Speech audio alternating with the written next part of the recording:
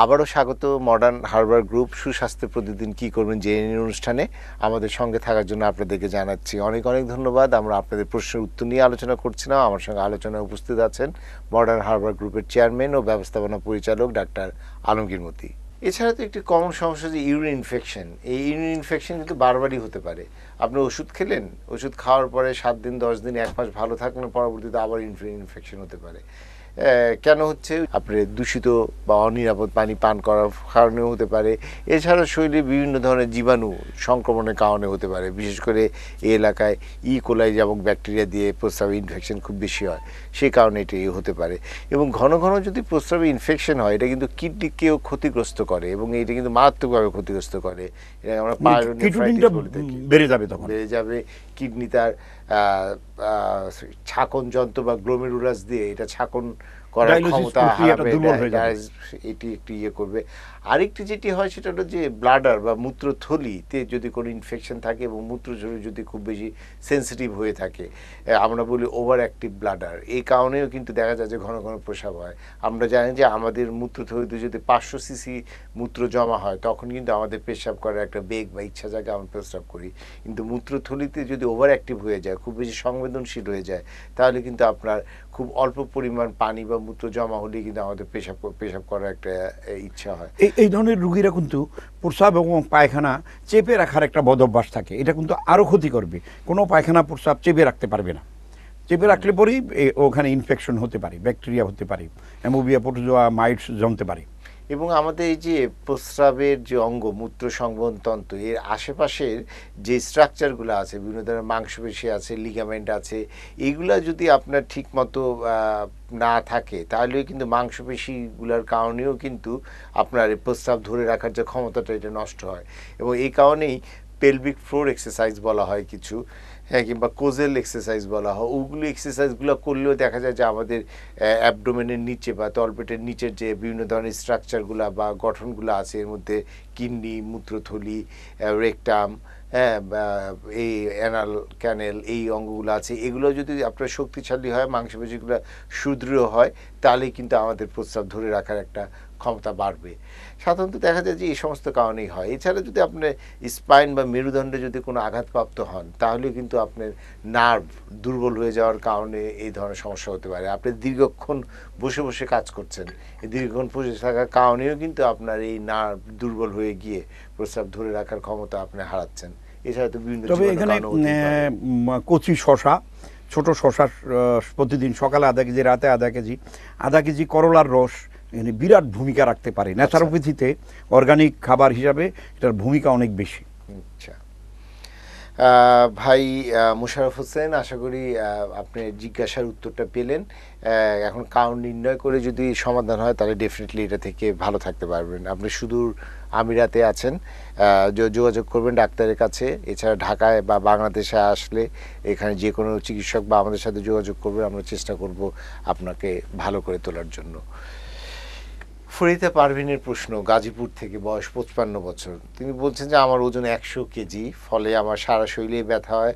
বিশেষ করে পায়ের পাতাতে খুবই ব্যথা হয়, আমার প্রেশারও বেশি থাকে। করণীয় কি? যে বোন ফরিদা, এই যে ওজনটা আপনার বেশি, এখানে আপনার অনেক রোগের সৃষ্টি হবে। কিন্তু সে বলে, আপনি ঘরে বসে শুয়ে থাকতে পারবেন না। আপনাকে দুইবার গোসল করতে হবে, আপনাকে সম্ভব হলে সাঁতার কাটতে হবে। আপনাকে প্রতিদিন পাঁচ পাঁচ, দশ কিলোমিটার অবশ্যই আপনাকে হাঁটতে হবে।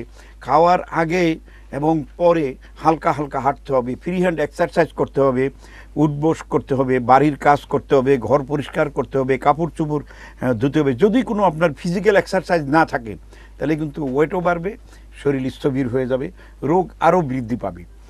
আর সব কাঁচা জিনিস, আধা কাঁচা জিনিস, আধা পাকা জিনিস বেশি পাকা জিনিস না খেয়ে আদা কাঁচা, আদা পাকা, শাক, সবজি, ফলমূল আর রসানো কষানো খাবার আপনি খেতে পারবেন না।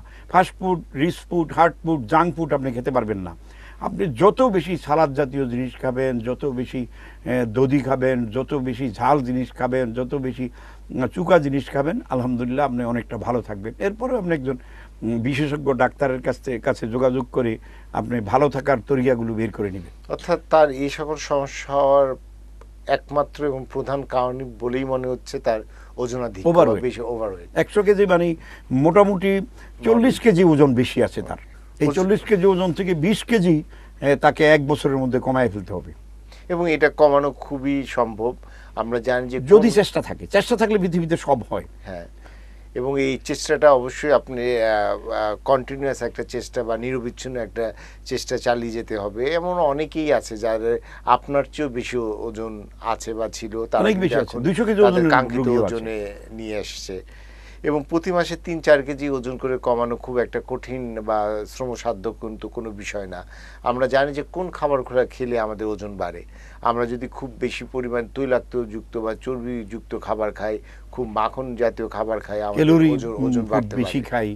তেল জাতীয় জিনিস বেশি খাই পোড়া ভাজি ভুনা রসানো কষানো খাবার বেশি খাই তাহলে পরে ওজন বাড়তে থাকবে। চিনি লবণ জাতীয় খাবার বেশি খেলে হ্যাঁ, কমাই ওজন বাড়তে সাদা লবণের পরিবর্তে কালো লবণ খেতে হবে চিনির পরিবর্তে মধু খেতে হবে এরকম বিবর্তন পরিবর্তন আনতে হবে খাবারের ভিতরে। কার্বোহাইড্রেট বা শর্করা জাতীয় খাবার খাবার কমাই দিলে ভাত আলু রুটি সুজি আটা ময়দা এগুলাতে আছে। বাড়ির কাজগুলো নিজের করতে হবে। হ্যাঁ। এই এবং এই যে নিজের করা, এটা ধীরে ধীরে করে আপনার কাজের মধ্যে এঙ্গেজ থাকতে হবে। একবারে হয়তো বা আপনি খুব বেশি কাজে এঙ্গেজ হতে পারবেন না। ধীরে ধীরে একটি একটি করে কাজের দিকে আপনি কনসেন্ট্রেট করুন, দেখবেন যে হবে। বাড়ির যে অনেক ধরনের কাজ আছে, সেই কাজের মাধ্যমে ঠিক মতো করলে এই কাজগুলা সঠিক পজিশনে সঠিক নিয়মে করলেও কিন্তু ওজন কমানোর ক্ষেত্রে অনেক সহায়ক। ছাদে রোপ গার্ডেনিং যেটাকে আমরা বলি এই রোপ গার্ডেনিং করে অনেক মেয়েরা কিন্তু হালকা পাত্তা হচ্ছে। ছাদের উপরে দুইশো টব দেয়া বা দুইশো প্লাস্টিক ড্রাম কাইটা সেখানে মাটি দিয়া সার দিয়া কত ভালো ভালো ফসলের গাছ ফলের গাছ হচ্ছে চিন্তা করার মতো না। এটা মায়েরাই করতেছে বেশি। চেষ্টা প্রচেষ্টা থেকে এগুলো করলে পরে ওয়েট কমে আসে। বিষণ্ণতা বা ডিপ্রেশন থেকেও কিন্তু খাওয়া দাওয়া অনেক বেশি করা হয় ফলবতিতে ওজন বেড়ে যায়। আমাদের কিছুদিন আগেই কিন্তু বিষণ্ণতা বা একটা বিশ্ব বিষণ্ণতা স্বাস্থ্য ভালো প্রোগ্রামও করেছি। এ নিয়ে। এছাড়া আপনার থাইরয়েডের সমস্যার কারণে বিশেষ করে হাইপোথাইরয়েডিজমের কারণে ওজন বেড়ে যেতে পারে। অতএব এটা এটা হরমোনের একটা ব্যাপার।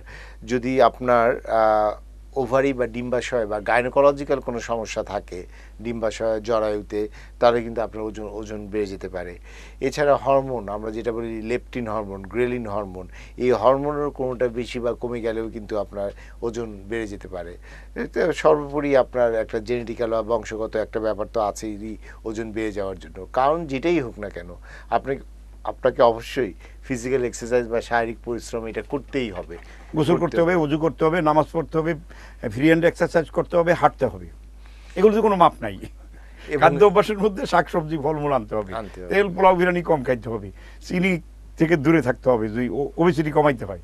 এই আমাদের এই। প্রোগ্রামটা রেগুলার দেখলে আমরা যে বারবার কথাগুলি বলি এগুলোর থেকেও সে একটা ভালো রেজাল্ট বের করে নিতে পারবে। ধন্যবাদ ডাক্তার আলমগ্রবতী আপনার মূল্যবান অশেষ ধন্যবাদ। প্রিয় দর্শক, এই ছিল আজকের মতো আপনাদের জন্য আমাদের আয়োজন। আপনারা যারা আমাদের অনুষ্ঠানটি দেখেন, যারা বিভিন্ন সময় পরামর্শ, মতামত দেন, তাদেরকে অনেক অনেক ধন্যবাদ এবং কৃতজ্ঞতা জানাচ্ছি এবং সাথে জানিয়ে রাখছি যে আমাদের অনুষ্ঠানটি আপনারা প্রতিনিয়তই দেখবেন। আপনারা জানেন যে বিজয় টিভিতে এই অনুষ্ঠানটি প্রতিদিন রাত এগারোটা পঁয়ত্রিশ মিনিটে প্রচারিত হয় এবং অনুষ্ঠান সম্পর্কে কোনো মতামত, পরামর্শ থাকলে দিবেন এবং কোনো প্রশ্ন থাকলেও লিখবেন। প্রশ্ন লেখার ঠিকানা হচ্ছে দুই নম্বর শহীদ তাজউদ্দিন রোড, মগবাজার। ঢাকা। এছাড়াও টিভি স্কলে যে মোবাইল নম্বর আসছে, সেই নাম্বারেও ফোন করে আপনাদের কোনো জিজ্ঞাসা বা প্রশ্ন আমাদের কাছে করতে পারেন। আগামী দিন দেখা হবে ঠিক একই সময়ে। তার আগ পর্যন্ত আপনারা সবাই ভালো থাকুন, সুস্থ থাকুন। শুভরাত্রি।